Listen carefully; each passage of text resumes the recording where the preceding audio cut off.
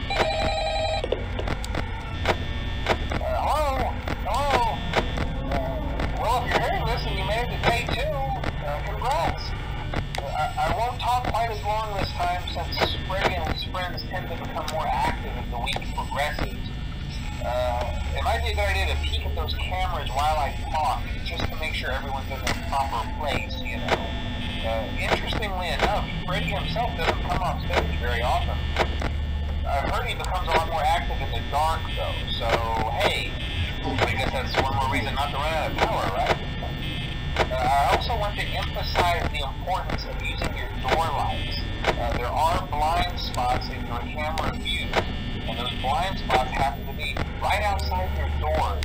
So if, if you can't find something or someone on your cameras, uh, be sure to check the door light. Uh, you might only have a few seconds to react. Uh, not that you would be in any danger, of course. Uh, I'm not implying that. Also, check on the curtain in Pirate Cove from time to time. The character in there seems unique and he becomes more active if the cameras remain off for long periods of time. Uh, I guess he doesn't like being watched. I don't know. Uh, anyway, I'm sure you have everything under control. Uh, talk to you soon.